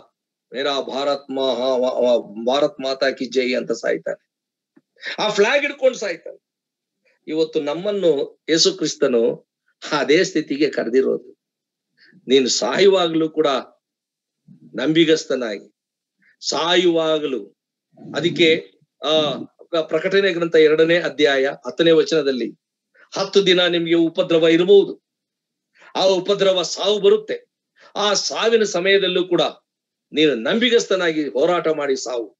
ಸಾಯಿ, ಆಗ ಜೀವವೆಂಬ ಜಯಮಾಲೆ ದೇವ್ರು ನಿನಗೆ ಅವಾರ್ಡ್ ರಿವಾರ್ಡ್. ನಮ್ಮ ದೇಶ ಅಂತವ್ರಿಗೋಸ್ಕರವಾಗಿ ವೀರಚಕ್ರ ಅವಾರ್ಡ್ಗಳನ್ನ ಇಟ್ಟಿದೆ. ಅಶೋಕ ಅವಾರ್ಡ್ ಇರ್ಬೋದು, ಪದ್, ಬೇರೆ ಬೇರೆ, ಆ, ಏನದು, ಅರ್ಜುನ ಅವಾರ್ಡು, ದ್ರೋಣ ಅವಾರ್ಡು, ಏನೇನೋ ಅವಾರ್ಡ್ಗಳು ಕೊಡ್ತಾರೆ. ನಮ್ಮ ಕರ್ತನಾದ ಯೇಸು ಕ್ರಿಸ್ತನು ಕೊಡುವಂತ ಅವಾರ್ಡು. ಯಾಕೆ ಅಂತಂದ್ರೆ ಆತನ ಸೈನ್ಯದಲ್ಲಿ ನಮ್ಮನ್ನು ಸೇರಿಸ್ಕೊಂಡಿದ್ದಾನೆ ಪ್ರಿಯ ಮಿತ್ರರೇ. ಕ್ರಿಸ್ತೀಯ ಜೀವನದ ಹೋರಾಟ ಮಾಡಿ ಕ್ರಿಸ್ತನಿಗೋಸ್ಕರವಾಗಿ ನಾವು ಹತಸಾಕ್ಷಿಗಳಾದ್ರೂ ಕೂಡ ಪರವಾಗಿಲ್ಲ. ನನ್ನನ್ನು ಸೇರಿಸಿಕೊಂಡ ಆತನನ್ನು ನಾನು ಮೆಚ್ಚಿಸ್ಬೇಕು. ನೋಡಿ, ಶಿಷ್ಯರು ಕೂಡ ಅಷ್ಟೇ. ಆ ಶಿಷ್ಯನ ಹನ್ನೆರಡು ಮಂದಿ ಶಿಷ್ಯನ ಆರಿಸ್ಕೊಂಡ್ರು. ಅವ್ರು ಎಷ್ಟೋ ಹಿಂದೆ ಹೋಗೋದಿಕ್ಕೆ ಶುರುವ ಕೊನೆಗೆ ಯೇಸು ಕ್ರಿಸ್ತನು ಗಲಿಲಾಯ ಸಮುದ್ರ ಬಂದು ಪೇತ್ರನನ್ನು ಕೇಳ್ತಾನೆ. ಪೇತ್ರನೇ ನನ್ನನ್ನು ಪ್ರೀತಿ ಮಾಡ್ತೀಯ? ನೋಡಿ ಎಷ್ಟು ಆಪ್ಯಾಯವಾಗಿ. ಕೊನೆಗೆ ಏನ್ ಹೇಳ್ತಾನೆ, ನೀವು ನಿಮಗಿರುವಂತ ಬಲ ನಿಮಗೆ ಸಾಲೋದಿಲ್ಲ. ಪವಿತ್ರಾತ್ಮನು ಬಲ ಬರಲು ನೀವು ಬಲವನ್ನು ಹೊಂದಿ, ನೀವು, ಆ ಎರುಶಲೇಮಿನಲ್ಲಿಯೂ ಯೂದಾಯದಲ್ಲಿಯೂ, ಸಮಾರ್ಯದಲ್ಲಿಯೂ, ಲೋಕದ ಕಟ್ಟ ಕಡೆಯವರೆಗೆ ಹೋಗಿ ನನಗೆ ಸಾಕ್ಷಿಗಳಾಗಿ.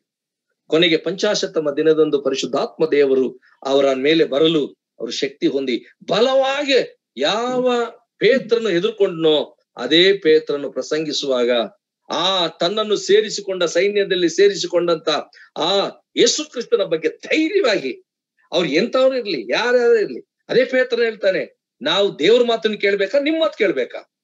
ನೀವು ಪ್ರಕಟಣೆ ಮಾಡಬೇಡಿ ಯೇಸು ಸ್ವಾಮಿಯನ್ನ ಅಂತ ಹೇಳ್ತೀರಲ್ಲ, ಈಗ ದೇವ್ರ ಮಾತು ಏನ್ ಹೇಳ್ತಾರೆ, ದೇವ್ರು ಹೋಗಿಲ್ಲ, ಸರ್ವಲೋಕಕ್ಕೆ ಸುವಾರ್ತೆ ಸರ್ ಅಂತ ನಮ್ಗೆ ಹೇಳಿದಾರೆ, ಆ? ನಿಮ್ ಮಾತೆಲ್ಲ ಕೇಳೋದು ನಮ್ ದೇವ್ರ ಮಾತು ಕೇಳ್ತೀವಿ. ಇವತ್ತು ಅಂತ ಕೆಚ್ಚೆದೆಯ, ಯಾ ವಿಶ್ವಾಸಿಗಳು ಎಲ್ಲಿದ್ದಾರೆ ಹೇಳಿ. ಅಯ್ಯೋ, ಅವ್ರು ಹೊಡಿತಾರೆ, ಇವ್ರು ಹೊಡಿತಾರೆ, ಇವ್ರು ಬೈತಾರೆ, ಅವ್ರು ಬೈತಾರೆ. ಅಲ್ಗ್ ಹೋಗ್ಬಾರ್ದು, ಇಲ್ಗ್ ಹೋಗ್ಬಾರ್ದು ಇದಿಂಗೆ ಅದಂಗೆ ಇಪ್ಪತ್ತೆಂಟು ನೆಪಗಳನ್ನ ಹೇಳ್ತಾ ಇರ್ತೀವಿ. ಎಸ್ ಯಾಕೆ ಅಂತಂದ್ರೆ ನಮ್ಮನ್ನು ಸೇರಿಸಿಕೊಂಡ ಆತನನ್ನು ಮೆಚ್ಚಿಸುವ ಮನಸ್ಸು, ಸಿದ್ಧ ಮನಸ್ಸು ನಮಗೆ ಇರಬೇಕಾಗುತ್ತೆ. ಅಂದ್ರೆ ಲೋಕ ವ್ಯವಹಾರಗಳಲ್ಲಿ ಸಿಕ್ಕಾಕೊಳ್ಬಾರದು. ಲೋಕಕ್ಕೆ, ಲೋಕದಲ್ಲಿ ಏನೇನಿದೆ? ಕಣ್ಣಿನಾಶೆ ಹೆಣ್ಣಿನ ಏನದು? ಆ, ಶರೀರದಾಶೆ, ಬದುಕು ಬಾಳಿನ ಡಂಬ.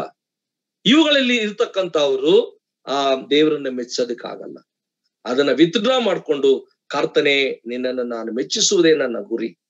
ನನಗೇನಾದ್ರೂ ಪರವಾಗಿಲ್ಲ ನಿನ್ನೊಂದಿಗಿರುವಂತದ್ದೇ ನಿನ್ನನ್ನು ನಾನು ಹಿಂಬಾಲಿಸುವಂತದ್ದೇ ಮುಂದೆ ಹೋಗುವೆನು, ಆ ಗುರಿ ಮುಟ್ಟುವ ತನಕ ಹಿಂದೆ ನೋಡದೆ ಮುಂದೆ ಹೋಗುವೆನು. ಯಾವಾಗ ಈ ಮಾತು ಬರುತ್ತೋ, ಖಂಡಿತವಾಗಿಯೂ ದೇವರು ನಮ್ಮೊಂದಿಗೆ ಆತನ ಕೆಲಸ ಮಾಡೋದಿಕ್ಕೆ ಶುರು ಮಾಡ್ತಾನೆ. ಮೂರನೇದಕ್ಕೆ ನೋಡೋಣ.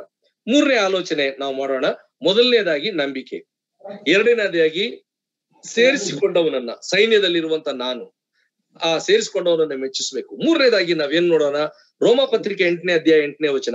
ರೋಮನ್ಸ್ ಚಾಪ್ಟರ್ ಏಟ್ ಏಟ್ ಶರೀರಾಧೀನನು ದೇವರಿಗೆ ಮೆಚ್ಚುಗೆಯಾಗಿ ಇರಲಾರನು. ಅಂದ್ರೆ ಶರೀರವನ್ನು ಪ್ರೀತಿಸಿಕೊಳ್ಳುವಂತವನು ದೇವರನ್ನು ಮೆಚ್ಚಿಸೋದಿಕ್ಕೆ ಸಾಧ್ಯ ಇಲ್ಲ.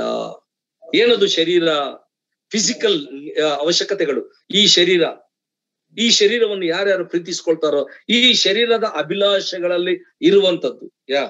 ಈ ಅದೇ ರೋಮ ಪತ್ರಿಕೆ ಎಂಟನೇ ಅಧ್ಯಾಯ ಆರನೇ ವಚನ, ನೀವು ಪವಿತ್ರಾತ್ಮನ ಮೇಲೆ ಮನಸ್ಸಿಡುವುದು ಜೀವ, ಶರೀರ ಭಾವದವುಗಳ ಮೇಲೆ ಮನಸ್ಸಿಡುವುದು ಮರಣ. ಈಗ ಶರೀರ ಭಾವ ಏನು? ಗಲತದವರೆಗೆ ಬರೆದ ಪತ್ರಿಕೆ ಐದನೇ ಅಧ್ಯಾಯ ಹತ್ತೊಂಬತ್ತನೇ ವಚನದಿಂದ ಇಪ್ಪತ್ತೊಂದನೇ ವಚನ, ಶರೀರ ಭಾವದವುಗಳು ಪ್ರಸಿದ್ಧವಾಗಿದೆ. ಇವುಗಳ ಮೇಲೆ ಮನಸ್ಸಿಡುವಂತವನು ದೇವರನ್ನ ಮೆಚ್ಚಕ್ಕಾಗಲ್ಲ ಯಾವ್ದು ಗೊತ್ತಾ? ನಂಬರ್ ಒನ್ ಜಾರತ್ವ. ನಂಬರ್ ಟು ಬಂಡುತನ. ತ್ರೀ ನಾಚಿಕೆಡ್ತನ ನಾ ನಾಲ್ಕು, ವಿಗ್ರಹಾರಾಧನೆ.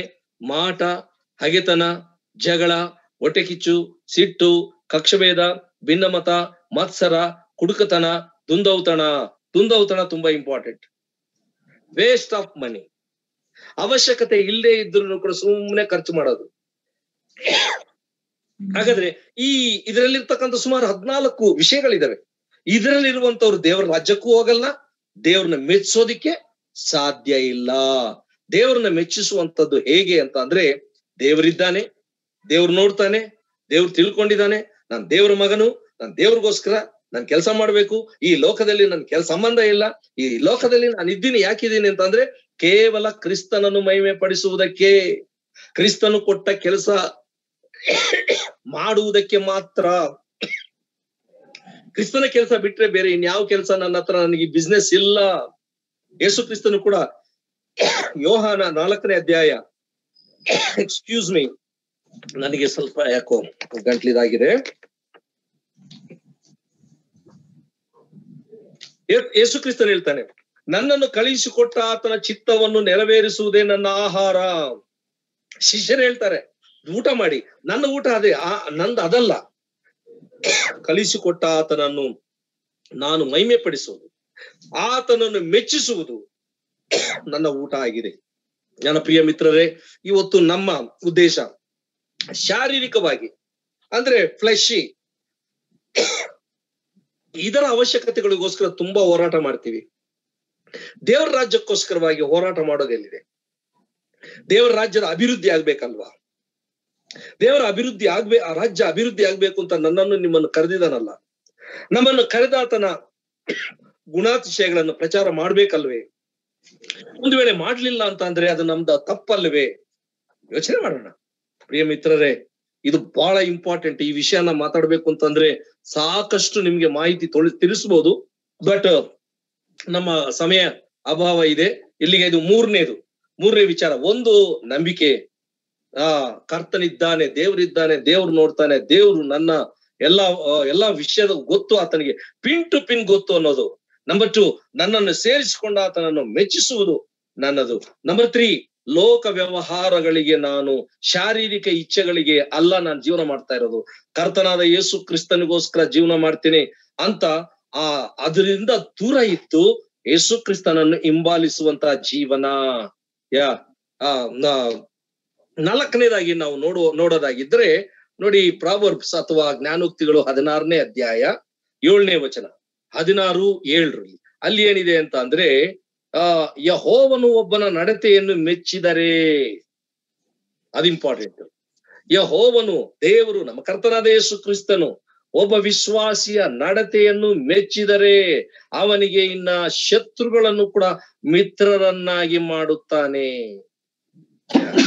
ಇದು ನಾವು ನಮ್ಮ ದೈನಂದಿನ ಚಟುವಟಿಕೆಗಳಲ್ಲಿ ಅಭ್ಯಾಸ ಮಾಡ್ಕೊಳ್ಬೇಕು. ಉದಾಹರಣೆಗೆ ನಾವು ನೋಡೋದಾಗಿದ್ರೆ ಯೋಸೇಫನನ್ನು ತಗೊಳ್ಳಿ. ಯೋಸೇಫನ ಅಂದ್ರೆ ಆದಿಕಾಂಡ ಮೂವತ್ತೊಂಬತ್ತನೇ ಅಧ್ಯಾಯದಿಂದ ಐವತ್ತನೇ ಅಧ್ಯಾಯದ ತನಕ ಇರುತ್ತೆ. ಬಹಳ ಒಳ್ಳೆ ಸ್ಟೋರಿ ಅದು. ನಿಮಗೆ ಗೊತ್ತಿರುತ್ತೆ.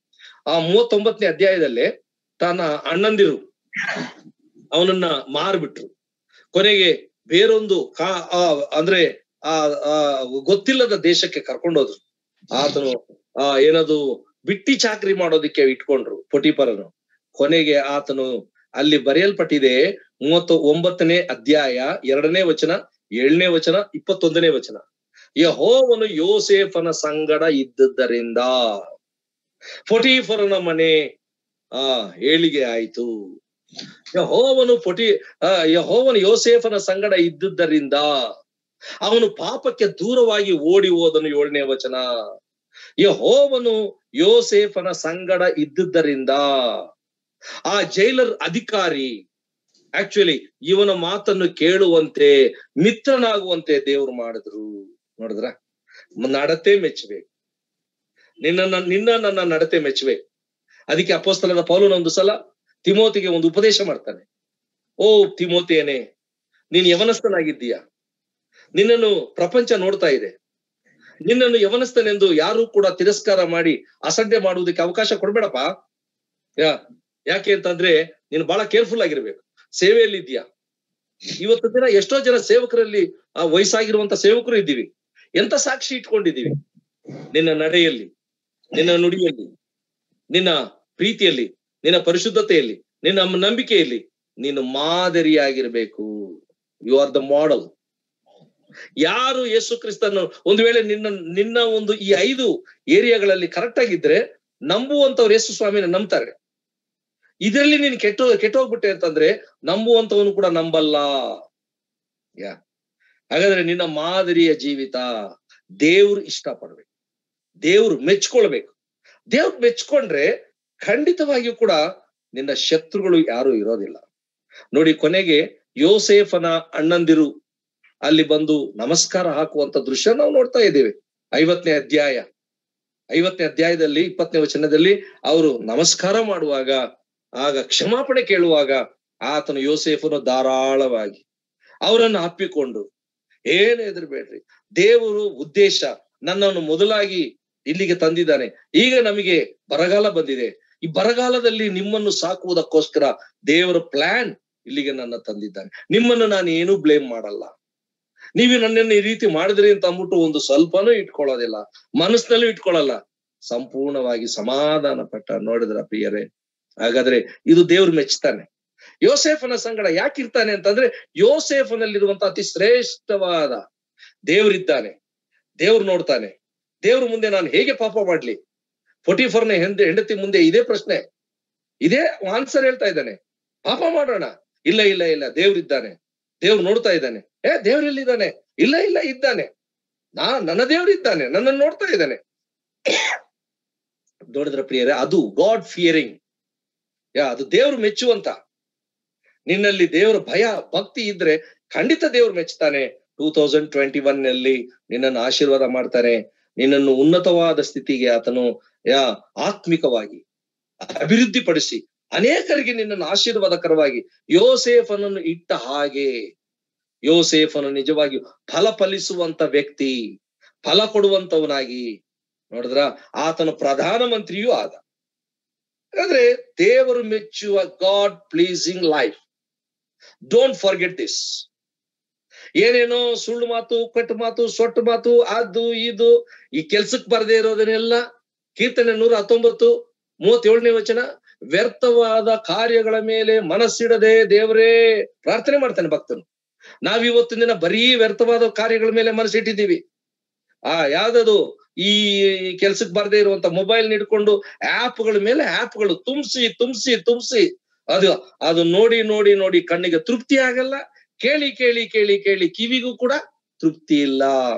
ಪ್ರಸಂಗಿ ಬರೀತಾನೆ ಒಂದನೇ ಅಧ್ಯಾಯ ಎಂಟನೇ ವಚನ, ಹದಿನೆಂಟನೇ ವಚನದಲ್ಲಿ ಬರೆಯಲ್ಪಟ್ಟಿದೆ. ಕ್ಲಿಯರ್ ಆಗಿ. ಕಣ್ಣು ನೋಡಿ ನೋಡಿ ತೃಪ್ತಿ ಆಗಲ್ಲ. ಮಧ್ಯರಾತ್ರಿ ಎರಡು ಗಂಟೆವರೆಗೂ ಕೂಡ ನೀನ್ ನೋಡ್ತಾ ಇದ್ರು ಕೂಡ ಇನ್ನು ತೃಪ್ತಿ ಇಲ್ಲ. ಹೆಡ್ಡೇಕ್ ಬರ್ತದೆ, ಎಲ್ಲಾ ಬರ್ತದೆ, ತಲೆ ಬಿಸಿ ಆಗುತ್ತೆ. ಇಡ್ರೋ ಮೊಬೈಲ್ ಅಂದ್ರೆ ಇಡಲ್ಲ. ಯಾ, ಅದ್ರಲ್ಲೇ ಕೂತ್ಕೊಂಡ್ಬಿಡೋದು. ಏನಾದ್ರು ಕೇಳಿದ್ರೆ ಸುಳ್ಳು ಹೇಳೋದು. ನಾನು ಹೋಮ್ ವರ್ಕ್ ಮಾಡ್ತೀನಿ, ಆ ಮಾಡ್ತೀನಿ, ಇದು ಮಾಡ್ತೀನಿ ಎಲ್ಲ ಎಲ್ಲ ಬರೀ ಸುಳ್ಳು. ಯಾ, ಸುಳ್ಳಿಗೆ ಮೂಲ ಪುರುಷನಾಗಿರುವಂತ ಸೈತಾನನು ನುಡಿಸ್ತಾ ಇದ್ದಾನೆ.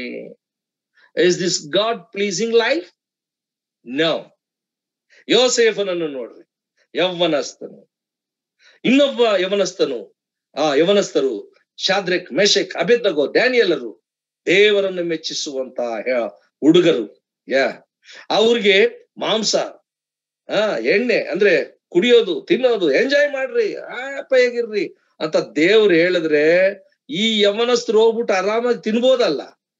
ಐ ಆಮ್ ಸಾರಿ ನಾವು ತಿನ್ನಲ್ಲ. ನಮ್ಮ ದೇವರು ಪರಿಶುದ್ಧತೆಯನ್ನು ಮೆಚ್ಚುತ್ತಾನೆ ನಮ್ಮ ದೇವರು ಪರಿಶುದ್ಧನಾಗಿರುವುದರಿಂದ ನಮ್ಮ ಪರಿಶುದ್ಧತೆಗೆ ನಾವು ಹೆಚ್ಚು ಇಷ್ಟಪಡ್ತೇವೆ. We don't want to eat yeah, ಅದು ನಮ್ಗೆ ಬೇಕಾಗಿಲ್ಲ. ನಾವು ಬೇಕಾದ್ರೆ ತರಕಾರಿ ತಿಂದು ನಾವು ಜೀವನ ಮಾಡ್ತೇವೆ. ಬೇಕಾದ್ರೆ ಹತ್ತು ದಿನ ನಮಗೆ ಅವಕಾಶ ಕೊಟ್ಟು ನಮ್ಮ, ನಮ್ಮನ್ನು ನೋಡ್ರಿ, ಪರೀಕ್ಷೆ ಮಾಡ್ರಿ. ಚಾಲೆಂಜ್ ಮಾಡ್ತಾರೆ. ಪ್ರಿಯ ಮಿತ್ರರೇ ಎಸ್ ಒಬ್ಬನ ದೇವ್ರಿಗೆ ಅವನ ನಡತೆ ಮೆಚ್ಚಬೇಕು. ಯಾ, ಅವನ ಲೋಕ ವ್ಯವಹಾರಗಳಲ್ಲಿ ಸಿಕ್ಕಾಕೊಳ್ಳದೆ ಕರ್ತನಿಗೋಸ್ಕರ ಜೀವನ ಮಾಡ್ತೀನಿ ಅಂತ ಯಾರು ಹೇಳ್ತಾರಲ್ಲ ಅವ್ರು. ಈ ನಾಲ್ಕು ಏರಿಯಾಗಳಲ್ಲಿ ನಮ್ಮನ್ನ ನಾವು ಪರೀಕ್ಷೆ ಮಾಡ್ಕೊಳ್ಳೋಣ. ಮುಂದಿನ ದಿನಗಳಲ್ಲಿ ಇನ್ನು ಮುಂದೆ ವಿಷಯಗಳು ಯಾವಾಗಾದ್ರೂ ಸಮಯ ಸಿಕ್ಕಿದೆ ನೋಡೋಣ. ನಂಬರ್ ಒನ್ ನಂಬಿಕೆ. ನಂಬಿಕೆ ಇಲ್ಲದೆ ದೇವರನ್ನು ಮೆಚ್ಚೋದಿಕ್ಕೆ ಸಾಧ್ಯನೇ ಇಲ್ಲ. ಅದೆಂತ ನಂಬಿಕೆ? Hundred out of hundred not ninety nine point nine nine nine percent ಅಲ್ಲವೇ ಅಲ್ಲ. ಇವತ್ತು ನಮ್ಮ ಸಭೆಗಳಲ್ಲಿ ಭಕ್ತಿ ವೃದ್ಧಿ ಆಗ್ತಾ ಇಲ್ಲ. ಆಂದೋಲನ, ಆ ದಾಹ ಇಲ್ಲ. ಕರ್ತನಗೋಸ್ಕರವಾಗಿ ಜೀವನ ಮಾಡ್ಬೇಕು ಅನ್ನುವಂತ ಒಂದು ದರ್ಶನವಿಲ್ಲ. ನಮ್ಮ ಮಿಷನರಿಗಳನ್ನ ನೋಡ್ರಿ. ಎಷ್ಟೇ ಕಷ್ಟ ಬಂದ್ರು ಕೂಡ ಅವ್ರ ಕರ್ತನಿಗೋಸ್ಕರವಾಗಿ ತಮ್ಮನ್ನು ತಾವೇ ವೆಚ್ಚ ಮಾಡ್ಕೊಂಡ್ರು. ನಂಬಿಕೆ ವೀರರ ಪಟ್ಟಿಯನ್ನು ನೋಡ್ರಿ ಇಬ್ರಿಯ ಪತ್ರಿಕೆಯಲ್ಲಿ. ಕರ್ತನಿಗೋಸ್ಕರವಾಗಿ ಕರ್ತನನ್ನು ನಂಬಿದ್ರು, ಆ ನಂಬಿಕೆ ನಿಜವಾಗಿಯೂ ಕೂಡ ಅವರು ಸತ್ಯವಾಗಿ ಆ ಜೀವನದಲ್ಲಿ ಅನುಭವಿಸಿದ್ರು. ಮಿಷನರಿಗಳು ಎಷ್ಟು ಜನ? ನಂಬರ್ ಒನ್ ನಂಬರ್ ಟು ನನ್ನನ್ನು ಸೈನ್ಯದಲ್ಲಿ ಸೇರಿಸಿಕೊಂಡವನನ್ನ ನಾನು ಮೆಚ್ಚಿಸುವುದೇ ನನ್ನ ಗುರಿ. It's my aim twenty twenty one is my aim to please God ನನ್ನನ್ನು ಸೇರಿಸಿಕೊಂಡ ಆತನನ್ನ ನಾನು ಮೆಚ್ಚಿಸಬೇಕು ಅನ್ನುವಂಥದ್ದು. ಮತ್ತು ನಾನು ಲೋಕ ವ್ಯವಹಾರಗಳಲ್ಲಿ ಸಿಕ್ಕಿ ಹಾಕಿಕೊಳ್ಳಬಾರದು. ಲೋಕದ ಆಶಾಪಾಶಗಳಿಗೆ ಒಳಗಾಗಬಾರದು. ಪವಿತ್ರತೆಯನ್ನು ಕಾಪಾಡಿಕೊಳ್ಳಬೇಕು. ಪರಿಶುದ್ಧತೆಯನ್ನು ಮೇಂಟೈನ್ ಮಾಡಬೇಕು. ನಮ್ಮ ದೇವರು ಪರಿಶುದ್ಧತೆಯನ್ನು ಮೆಚ್ಚತಾನೆ ಹೊರತು ನಿನ್ನ ಆಸ್ತಿನೂ ಮೆಚ್ಚಲ್ಲ, ನಿನ್ನ ನೇಮು ಫೇಮನ್ನು ಮೆಚ್ಚಲ್ಲ, ನಿನ್ನ ವೈಹಾರಗಳನ್ನು ಮೆಚ್ಚಲ್ಲ, ಯಾವುದು ಮೆಚ್ಚಲ್ಲ. ದೇವರಿಗೆ ಬೇಕಾಗಿರುವಂತದ್ದು ಪರಿಶುದ್ಧತೆ. ಎಸ್ ಹೋಲಿ ಯಾ ಅದನ್ನ ಲಾಜನ್ನು ನೋಡಿ ಆತನಿಗೇನು ಇಲ್ಲ. ಆದ್ರೆ ದೇವ್ರಿಗೆ ಇಷ್ಟವಾಗಿ ನಡ್ಕೊಂಡ. ಅವನ್ ದೇವದೂತರು ಬಂದು ಕರ್ಕೊಂಡು ಹೋದ್ರು. ಅವನ ಎದುರುಗಡೆ ನೋಡ್ರಿ, ಇನ್ನೊಬ್ಬ ಐಶ್ವರ್ಯವಂತ ಭೋಗಪುರುಷ ಎಲ್ಲ ಅನುಭವಿಸ್ತ ಕೊನೆಗೆ ಆ ದೇವರನ್ನು ಮೆಚ್ಚಿಸ್ಲಿಲ್ಲ. ಅವನು ಹೋಗಿದ್ದು ನರಕ, ಯಾತನೆಯ ಸ್ಥಳ ಪ್ಲೇಸ್ ಆಫ್ ಟಾರ್ಮೆಂಟೇಶನ್ ನೋಡಿದ್ರ ಅವನ ಡೆಸ್ಟಿನೇಷನ್ ಅಲ್ಲಿ ಆಯ್ತು. ನನ್ನ ಪ್ರಿಯ ಮಿತ್ರರೇ, ಆಲೋಚನೆ ಮಾಡೋಣ. ಕರ್ತನಿಗೋಸ್ಕರ, ಕರ್ತನು ಒಪ್ಪುವ ಜೀವನ ಏನಿದೆ ಅದನ್ನ ಆರಿಸ್ಕೊಳ್ಳೋಣ. ಕೊನೆಯದಾಗಿ, ಶತ್ರುಗಳನ್ನು ಕೂಡ ಮಿತ್ರರನ್ನಾಗಿ ಮಾಡ್ತಾನೆ. ಯಾವಾಗ? ನಿನ್ನ ಜೀವನ ದೇವರು ಮೆಚ್ಚಬೇಕು. ನಿನ್ನ ನಡೆ, ನಿನ್ನ ನುಡಿ, ನಿನ್ನ ನಂಬಿಕೆ, ನಿನ್ನ ಪ್ರೀತಿ, ನಿನ್ನ ಶುದ್ಧತ್ವ, ಇವುಗಳಲ್ಲಿ ನಾವೇ ಮಾದರಿಯಾಗಿ, ಲೋಕಕ್ಕೆ ಬೆಳಕಾಗಿ, ಲೋಕಕ್ಕೆ ಉಪ್ಪಾಗಿ ನಾವು ಜೀವನ ಮಾಡಬೇಕು. ಇಲ್ಲ, ನಾವೇ ಕತ್ತಲೆಯಿಂದ ತುಂಬಿದ್ರೆ ಇನ್ನು ಕತ್ಲೆಯಲ್ಲಿರುವಂತವ್ರಿಗೆ ಏನು ಉಪದೇಶ ಮಾಡ್ತೀರಿ? ಏನ್ ಹೇಳ್ತೀರಿ? ಏನ್ ಸುವಾರ್ತೆಗೆ ಬೆಲೆ ಇದೆ? ಸುವಾರ್ತೆ ಅದಕ್ಕೆ ಒಂದು ಶಕ್ತಿ ಇದೆ. ಆ ಶಕ್ತಿ ದೇವ್ರು ನಿನ್ನಲ್ಲಿ ಇಟ್ಟಿದ್ದಾರೆ. ನಿನ್ನ ಮಾತಿನಲ್ಲಿ ಆ ಶಕ್ತಿ ಬರುತ್ತೆ. ಹಾಗಾದ್ರೆ ಸುವಾರ್ತೆ ಶಕ್ತಿಯನ್ನು ನಮ್ಮ ಬಾಯಿ, ಹೊಲಸು ಬಾಯಿ ಮಾಡ್ಕೊಂಡು, ಹೊಲಸು ಜೀವನ ಇಟ್ಕೊಂಡು ಏನ್ ಹೇಳಿದ್ರು ಕೂಡ ವರ್ಕೌಟ್ ಆಗಲ್ಲ, ಇನ್ನು ಸೈತಾನ್ ನಗ್ತಾನೆ. ದೇವ್ರಿಗೆ ಎಷ್ಟು ಬಾಧೆ ಆಗುತ್ತೆ? ಯಾ, ಇವತ್ತಿನ ದಿನ ಇಲ್ಲ ಅಂತೀರಾ? ಇಂಥ ಜನ? ಸಭೆಗಳಲ್ಲಿ ಎಷ್ಟು ಜನ ಬೇಕು? ಎಲ್ಲಾ ಕಳ್ಳು ವಿಶ್ವಾಸಿಗಳು. ಎಲ್ಲಾ ಸು, ನನ್ನ ಮೊದಲುಗೊಂಡು ಹೇಳ್ತಾ ಇದ್ರದು ನನ್ನ ನನ್ನ ಬಿಟ್ಟು ಅಲ್ಲ. ಎಲ್ಲಾ ಕಳ್ಳ ಬೋಧಕರು, ಕಳ್ಳ ವಿಶ್ವಾಸಿಗಳು, ಕಳ್ಳ ಜೀವನ, ಎಲ್ಲ ಹೋಪ್ಲೆಸ್ ನೋಡೋದಿಕ್ಕೆ ಮಾತ್ರ ಎಲ್ಲ ವೈಟ್ ಅಂಡ್ ವೈಟ್ ಒಳಗಡೆ ನೋಡಿದ್ರೆ ಎಲ್ಲ ಬರೀ ಗಬ್ಬು ಗಲೀಜ್. ಇದು ಹೊರಗೆ ಹಾಕ್ಬೇಕು. ದೇವರು ಸ್ಪಷ್ಟವಾಗಿ ಒಂದು ಮಾತು ಹೇಳ್ತಾ ಇದ್ದಾನೆ ಯಹೋಶುವನ ಹತ್ರ. ಯಹೋಶುವ, ಯಹೋಶುವನ ಗ್ರಂಥ ಮೂರನೇ ಅಧ್ಯಾಯ ಐದನೇ ವಚನ. ಯಹೋಶುವ, ಈ ಜನರಿಗೆ ಹೇಳು. ಇವತ್ತು ಅವರು ತಮ್ಮನ್ನು ತಾವು ಶುದ್ಧ ಮಾಡಿಕೊಂಡ್ರೆ ನಾಳೆ ಅವರೊಂದಿಗೆ ನಾನು ಅದ್ಭುತಗಳನ್ನು ಮಾಡ್ತೇನೆ. ಅವರಲ್ಲಿ ಶುದ್ಧತೆ ಇಲ್ಲ. ನನಗದು ಇಷ್ಟ ಇಲ್ಲ. ಆ ಶುದ್ಧತೆ ಇಲ್ಲ ಅಂದ್ರೆ ನಾನು ಅವ್ರ ಜೊತೆಗೆ ಬರಲ್ಲ. ಸ್ವಾಮಿ, ನೀನ್ ಬಾ ಅಂತ ನೀನೇನ ಕರೀತಾ ಇದೀಯಾ? ನಾನ್ ಬರಕ್ಕಾಗಲ್ಲ. ಯಾಕೆಂದ್ರೆ ಅವರ ಹೊಲಸು ಜೀವನ ನನಗಿಷ್ಟ ಇಲ್ಲ. ಇವತ್ತಿನ ನಮ್ಮ ಸಭೆಗಳು ಸಿಂಕ್ ಆಗ್ತಾ ಇದೆ. ಕಾರಣ ಏನು ಇದಕ್ಕೆ? ನಾನೇ ಕಾರಣ ಅಂತ ನಮ್ಮನ್ನು ನಾವೇ ಪರೀಕ್ಷೆ ಪ್ರಶ್ನೆ ಹಾಕೊಳ್ಬೇಕು. ಬೇರೊಬ್ಬರ ಮೇಲೆ ಬೆಟ್ಟು ಮಾಡೋದಲ್ಲ. ಅವ್ರು ಸರಿ ಇಲ್ಲ, ಇವ್ರು ಸರಿ ಇಲ್ಲ ಅಲ್ಲ ಅಲ್ಲ. ನನ್ನನ್ನು ನಾನೇ ಪರೀಕ್ಷೆ ಮಾಡ್ಕೊಳ್ಬೇಕು. ಅದಕ್ಕೆ ನಮಗೆ ಒಂದು ಕುರಿತ ಹನ್ನೊಂದನೇ ಅಧ್ಯಾಯ, ನಮ್ಮನ್ನು, ಆ ಇಪ್ಪತ್ತೆಂಟನೇ ವಚನ, ನಮ್ಮನ್ನು ನಾವೇ ಪರೀಕ್ಷೆ ಮಾಡಿಕೊಂಡ್ರೆ ತೀರ್ಪಿಗೆ ಒಳಗಾಗಲ್ಲ. ನಾವು ಪರೀಕ್ಷೆ ಮಾಡ್ಕೊಳ್ಬೇಕು. ಸ್ವ ಪರೀಕ್ಷೆ ಸೆಲ್ಫ್ ಎಕ್ಸಾಮಿನೇಷನ್ ಹಾಗಾದ್ರೆ ನನ್ನ ಪ್ರಿಯ ಮಿತ್ರರೇ God's pleasing life twenty twenty one ಇದನ್ನು ನಾವು ಪ್ರಾಕ್ಟೀಸ್ ಮಾಡೋಣ. ದೇವರು ನಮಗೆ ಸಹಾಯ ಮಾಡ್ತಾರೆ. ಮುಂದಿನ ಮುಂದಿನ ದಿನಗಳಲ್ಲಿ ಇನ್ನೂ ಕೂಡ ಉನ್ನತವಾದ ನಿಮ್ಮ, ನನ್ನ, ನಿಮ್ಮ ಪ್ರಾರ್ಥನೆ ದೇವರು ಕೇಳಿ ಅದ್ಭುತಗಳನ್ನು ಮಾಡ್ತಾನೆ ಆಶ್ಚರ್ಯ ಕಾರ್ಯಗಳನ್ನು ಮಾಡ್ತಾನೆ. ಬರೀ ವಾಕ್ಯ ಹೆಡ್ ನಾಲೆಡ್ಜ್ ಇಂದ ಅಲ್ಲರೇ, ವಾಕ್ಯ ಇರ್ಬೋದು ನಿಮಗೆ. ಸಿಕ್ಕಾಪಟ್ಟೆ ವಾಕ್ಯ ಮಾತಾಡ್ತೀರಿ. ಜೀವನ ಎಲ್ಲಿದೆ? ಜೀವನ ಇಲ್ಲದೆ ಇರುವಂತ ಮಾತುಗಳನ್ನ ಕಟ್ಕೊಂಡು ಏನ್ ಮಾಡ್ಬೇಕು? ಸೈತಾನು ಕೂಡ ನಮಗಿಂತ ಚೆನ್ನಾಗಿ ಬೋಧನೆ ಮಾಡ್ತಾನೆ. ಯಾ? ಅವನು ಬಹಳ ಸುಂದರವಾಗಿ ಯೇಸು ಸ್ವಾಮಿ ಹತ್ರನೇ ಹೋಗಿ ವಾಕ್ಯ ಮಾತಾಡಿದ್ದಾನೆ ಮತ್ತಾಯನ ಸುವಾರ್ತೆ ನಾಲ್ಕನೇ ಅಧ್ಯಾಯ, ಲೂಕನ ಸುವಾರ್ತೆ ನಾಲ್ಕನೇ ಅಧ್ಯಾಯ. ಹೋದ್ರಿ? ಎಲ್ಲ ಸ್ಕ್ರಿಪ್ಚರ್ಸ್ ಈ ರೀತಿ ಬರ್ದಿದೆ, ಈ ರೀತಿ ಬರ್ದಿದೆ ಅಂತ ಯೇಸು ಸ್ವಾಮಿಗೇನೆ ಕೂಡ ಅವನು ಮಾತನಾಡಿರುವಂತ ಸೈತಾನನು. ಅವನು ಬಹಳ ಕ್ಲವರೇ ನಮಗೆ ವಾಕ್ಯ ಸಿಕ್ಕಾಪಟ್ಟೆ ಗೊತ್ತಿದೆ. ಜೀವನ ಎಲ್ಲಿದೆ? ಜೀವನ ಇಲ್ಲ ಅಂತಂದ್ರೆ ದೇವ್ರು ಮೆಚ್ಚುತ್ತೇನೆ ಅಂತ ಅನ್ಕೊಂಡಿದ್ದೀರಾ? ಬಲದಿಂದ ಅಲ್ಲ ಪರಾಕ್ರಮದಿಂದ ಅಲ್ಲ, ಯಹೋವನ ಆತ್ಮದಿಂದ. ಯಾ, ನನಗಿಷ್ಟು ಗೊತ್ತು ಅಷ್ಟು ಗೊತ್ತು ಅಲ್ಲ, ಅದನ್ನ ಪಕ್ಕಕ್ಕಿಡು, ಗಂಟು ಗಂಟಿಡು ಕಟ್ಟಿ, ನಿನ್ ಜೀವನ ಮಾಡು. ಕ್ರಿಸ್ತಿಯ ಜೀವನ, ಸಿಂಪಲ್ ವೆರಿ ಸಿಂಪಲ್ ಸ್ವಾಮಿ, ಹೇಗೆ, ಪರಮ ಗುರುವಿನ ಪರಮ ಮಾದಿರಿ, ಪರಮ ಗುರುವಿನ ಹೆಜ್ಜೆಗಳನ್ನು ಫಾಲೋ ಮಾಡೋದು. ಸಾಧ್ಯವಾದ್ರೆ ನೂರ ಹನ್ನೊಂದು ವಚನಗಳಿರುತ್ತೆ, ಮೂರು ಚಾಪ್ಟರ್ ಮತಾಯನ ಸುವಾರ್ತೆ ಐದು, ಆರು, ಏಳು. ಆ ಆ ಪರಮ ಗುರುವಿನ ಪರಮ ಮಾದರಿ ಅನುಸರಿಸುವುದಕ್ಕೆ ಒಳ್ಳೆ ಅಸ್ತಿವಾರ ಅದ ನಮಗೆ ಫೌಂಡೇಶನ್ ಅದೇ ಮಾದ ಮಾಡ, ಮಾಡಲ್ಲ. ಅದ್ರಲ್ಲಿ ನಾವು ಎಷ್ಟೋ ಸಲ ತಪ್ಪಿ ಹೋಗ್ತೇವೆ. ಆ ಈ ಈ ಅಧ್ಯಾಯಗಳನ್ನ ಮಹಾತ್ಮ ಗಾಂಧೀಜಿಯವರು ಕೂಡ ಇಷ್ಟಪಟ್ಟಿದ್ದಾರೆ ಅಂತ ಅಂದ್ಬಿಟ್ಟು ಬಹಳ ಜನ ಹೇಳ್ತಾರೆ. ವಿವೇಕಾನಂದ ಸ್ವಾಮಿಗಳು, ಇಂಥವರೆಲ್ಲ ಮಹನೀಯರುಗಳು, ರಾಧಾಕೃಷ್ಣನ್, ಆ, ನಮ್ಮ ಪ್ರೆಸಿಡೆಂಟು ಇಂಥವರೆಲ್ಲ ಯೇಸು ಕೃಷ್ಣ ಪರಮ ಗುರುವು ಅಂತ ಹೇಳ್ತಾರೆ. ಯಾವ್ದಾದ್ರೂ ಲೋಕದಲ್ಲಿ ಗುರು ಇದಾನ ಅಂತ ಅಂದ್ರೆ ಆತನು ಏಸು ಗುರು. ಆತನು ನುಡಿದಂತೆ ನಡೆದಿ, ನಡೆದು ನುಡಿದಿದ್ದಾನೆ. ನಡೆದು ನುಡಿದಿದ್ದಾನೆ.